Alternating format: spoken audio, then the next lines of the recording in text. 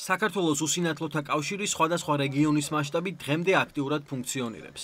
საბჭოთა კავშირის პერიოდიდან მოყოლებული, როცა გაერთიანება საქართველოს უსინათლოთა საზოგადოების სახელით იყო წარმოქმნილი, ორგანიზაცია ფლობდა დიდძალ უძრავ ქონებას საქართველოს ქალაქებში. აქტიურად იყო ჩართული ადგილზე წვრილმანი ნივთების დამზადებისა და წარმოების პროცესში. საბჭოთა კავშირის დაშლის შემდეგ ინსტიტუტმა რეორგანიზაცია განიცადა. არსებული ქონების განკარგვა შეპესეების სახით დაიწყო. როგორც ადგილობრივი უსინათლოების ნაწილი ყვება, განხორციელებული რეფორმებისა და ცვლილებების შემდეგ კავშირი აღარ არის იმდენად ფუნქციური, როგორც ის მანამდე პერიოდში იყო. ჩვენი რეპორტაჟის პირველი გაჩერება ქობულეთის ცენტრი, პოპოვის 6 ნომერია.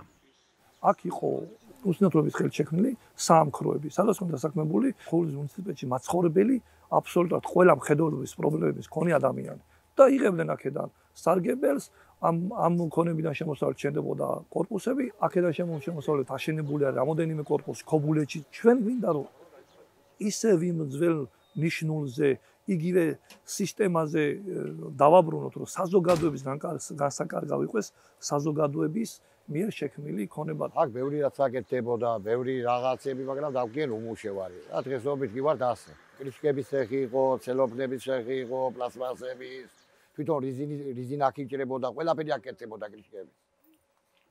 და ვიყავით ერთი 100 კაცი მეტი დასაქმებული. თავრობას ვის არ მიმართეთ, მაგრამ აა ვეხვეწებით ყველას, აჭარის თავრობას, კახარიას ყველას, არაფერი იაგირება რამე არ არის. საქართველოს უსინათლოთა კავშირის თავმჯდომარის თქმით, შრომის მსგავსი პრაქტიკა უსინათლოთა დასაქმების კუთხით უკვე მოძველდა. მანქანა დანადგარებსა და დაზგებთან მუშაობა ვეღარ ხერხდება შემცირებული მოთხოვნისა და საჭიროების ფონზე. მისივე განმარტებით, არაერთი მცდელობა სხვადასხვა ხელისუფლებასთან კომუნიკაციის დამყარებისა და წარმოების განახლების თაობაზე უშედეგოდ დასრულდა. უსინათლოს ხელით დასაქმება და დაზგასთან დასაქმება დიდი ხანია წარსულში ჩაბარდა ეს კომუნისტების დროს იყო და 30 წელია ეს ყველაფერი გარდაიცვალა. ჩვენი შემდეგი გაჩერება ციხიზირია, სასტუმრო მეგობრობა, აღნიშნული ინფრასტრუქტურა საქართველოს უსინათლოთა კავშირს ეკუთვნის. ამ ეტაპისთვის სასტუმროს ორ კორპუსში არც ერთი უსინათლო არაა დასაქმებული. სასტუმროს შემოგარენი და ზღვაზე ჩასასვლელი ბილიკები არა ადაპტირებულია, თუმცა, როგორც კავშირის თავმჯდომარე განმარტავს, უსინათლოები ასეთ სივრცეშიც ახერხებენ ორიენტირებას, საკუთარი გამოცდილებისა და ოჯახური გარემოს გათვალისწინებით. თავის მხრივ უსინათლო პირებისთვის მოქმედებს 40%-იანი შეღავათი დასვენებისა და რეკრეაციის კურსი. კუთხით.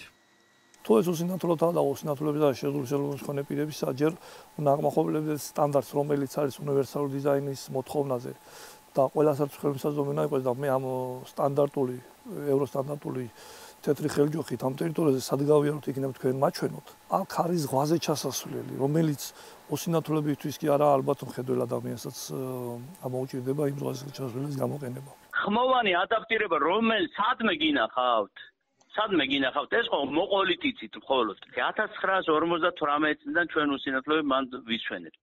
ყველა კენჭი ვითით სადრადევს საკუთარ ოჯახში არავითარი მინიშნებები უსინათლოს არ ჭირდება. რამდენი უსინათლო ყავთ? დასაქმებული და თქვენ უსინათლო კავშირი საარი. დასაქმებული? ხო. დასაქმებული არც ერთი არ ყავს უსინათლო ჩვენ ყავს უსინათლო დასაქმებული ჰილტონში. ტრატუსინათლო შეგიძლიათ გატესტოთ და ასრულებს იდეალურად თავის მოვალეობას რაც შეულა კაცი ასრულებს. ამ წუთში უსინათლოს დასაქმება ნულოვანია. ჩვენ ვინ ყავს იქ ყავს მიმტანები, ყავს მზარეული და მისი დამხმარე, ყავს დამლაგებლები. ყავს მებაღე. ჩვენ ყავდა მაგალითად ერთი დამლაგებელი მეორე ჯგუფის უსინათლო, ანუ ნარჩენი მხედველობის მქონე უსინათლო. მუშაობდა ნუ სანამ ისურვა, როდესაც აღარ ისურვს. ეხლა სხვა სურვილი არ გამოუთქოს. პირველი მკვეთრად გამოხატული შეზღუდვის უსინათლო ვერ მუშაობს სამწუხაროდ. კი უყურებ თეთრი ჯოხით როგორ მოძრავდა როგორი უნდა იყოს ოსინათლოსთვის ჩასასვლელი რომელ სტანდარტიდან არის აღებული ეს არ ვიცი. ხლა ზღვამდე იქ რა არის კიდე და როგორ უნდა შევიდეს ზღვაზე ადამიანი? შეგიძლიათ ისიც ნახოთ საერთოდ არაფერი არ არის ოსინათლოსთვის ხელმისაწვდომი უსინათლოზე კავშირს ამ ტერიტორიაზე ერგება 5200 კვადრატული მეტრი. ჩვენი საკუთრება რასაც არის. მერე არის რკინიგზის საკუთრება და მერე სახელმწიფოს საკუთრება. სხვათა შორის, როდესაც ქობულეთის მუნიციპალიტეტს ჩვენ წერილით მივმართეთ და ვითხოვეთ, რომ მათ ჩვენთვის იჯარით სიმბოლურ ფასად გადმოეცათ ჩვენთვის 2000 კვადრატული მეტრი, რომელზეც ჩვენ უზრუნველყოფდით კეთილმოწყობას, უზრუნველყოფდით სველი წერტილების მოწყობას, უზრუნველყოფდით ნორმალური პირობების შექმნას. მათ მოგთხოვეს 12000 ლარი. ну რაც შეუძლებელი იყო თვეში 12000-ს გადახდა და სახელმწიფოს ჩვენ თხოვეთ მუნიციპალიტეტს რომ მაშინ კეთილი ინებეთ დაასუფთავეთ, კეთილ მოაწყეთ. ხლა თელ ბათუმში და თელ სანაპიროზე სახელმწიფო უზრუნველყოფს ზღვაზე ჩასასვლელებს. ამიტომ სასტუმროს შესაძლებლობა ჩვენ ვართ ღარიბები გზა ვერ გავაკეთეთ. როგორც ხედავთ, მთელი რიგი დასახელებული და ნაჩვენების საკითხების გამო, რიგითი წევრები სკეპტიკურად და ეჭვის თვალით უყურებენ შესაბამისი გაერთიანების საქმიანობას. ქობულეთისა და ციხიძირის შემდეგ უკვე დროა რომ ბათუმში გადავინაცვლოთ. აქ უსინათლოთა კავშირის უზრავი ქონება კიდევ უფრო მასშტაბური და წარმომადგენლობითია. ტერიტორიის დიდი ნაწილი გაქირავებულია, ფუნქციონირებს სხვადასხვა სახის კერძო საწარმო და მცირე საამქრო. ამ მისამართზე კავშირის თავმჯდომარის განცხადებით უსინათლოთა დასაქმების მაჩვენებელი 4 ადამიანს არ აღემატება. ეს როგორ მდგომარეობაში ტუალეტში წამოვწამობდანდი ახლა მე ტუალეტში მივალ. ხო და აი როგორ წავალ ახლა. აქ აქ უსინათლო გაიას, ხედველ კაც გაუჭირდი რომ გაწევ და ვერ ჩამოხვალ საერთოდ. აი საპირე ეს არის ეს არის ომიანობის პერიოდში არის ყო 37-45 წლებში. ასე მდგომარეობა. აი და ნახე რა აი გადაიღეთ ეს მდგომარეობა. თუ ჩვენი ვიღაცა მიმათხოვრეთ მოგვიწანეთ რაღაცა და დაგვეხმარებთ ეს ვარიანტი მეტი არაფერია. ჩვენ აქ იმდენი შემოსავალია. ჩვენ არნა მიმათხოვროთ და ვინმე არ ნავთხოვთ 1 კილო კამპეტი ან 2 კილო კარტოფილი მოგვეცით 2005 წლამდე აქ მუშაობდა უსინათლო საზოგადოების თითქმის ყველა ვისაც ამის სურვილი ქონდა და ვისაც ამის შესაძლებლობა ქონდა. და ვისაც არ ქონდა მის შესაძლებლობები იმათ ეხმარებოდნენ საზოგადოებაში შემოსული თანხებით. აქ იყო საამქროები, იმაშინდელი საბჭოთა კავშირის დროინდელი ტექნოლოგიები რაც ხო. უსინათლოებს 200 კაც დახმარებას ვაძლევთ ყოველთვიურად. დაახლოებით 56000 ლარს ფილიალებს ვაძლევთ რომ დავეხმაროთ. ჩვენ ამით ვქმნით ცეხები არის იჯარით გაცემული, იქ უსინათლოს დასაქმება სავარაუდოდ ვერ მოხდება და ის ვინც იქირავა იმ სუბიექტისთვის არის ის მას ვალდებულება არ აქვს უსენ ჩვენ ადმინისტრაციაში ერთი თუ ორი უსინათლო მუშაობს და გვაქვს იქ ფილიალი სადაც ისაც ორი უსინათლო მუშაობს ეს არის სულ ჩვენი დასაქმება ამ კონკრეტული სიუჟეტის ფარგლებში აჭარის მასშტაბით 4 სხვადასხვა ადგილი გაჩვენეთ ორი ქობულეთში, ერთი ციხიზირში და ერთი ბათუმში. ვითარება ფაქტობრივად იდენტურია.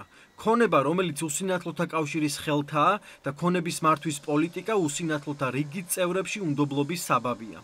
არსებობს მთელი რიგი კითხვები, როგორც საკადრო მიმართულებით, ისე დასაქმების ხელშეწყობისა და უფლებების დაცვის კუთხით. კიდევ ერთი მნიშვნელოვანი დეტალი.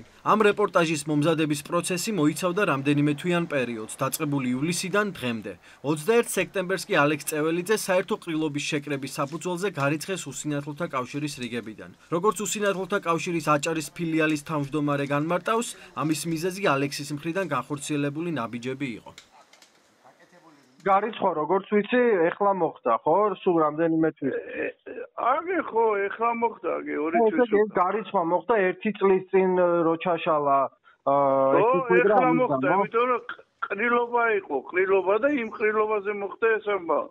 თქვა თქო ეს გარეცხვა იმას რომ თქვა ალექს რაღაცა კითხვები ქონდა თუნდაც ამ ქონებასთან დაკავშირებით იმასთან დაკავშირებით მე მე მე რაშვაში ვარ მაგრამ ვერ ჩატარებ კრებას რომ ამას იძახდა წინ დაუდგა პრეზიდიუმის თავმჯდომარე აი რასა პროტესტებდა ალექსი თქვა რატო კონდო არა სწორად მოქმედებთ თქვენო და ვერ ჩატარებ კრებას всё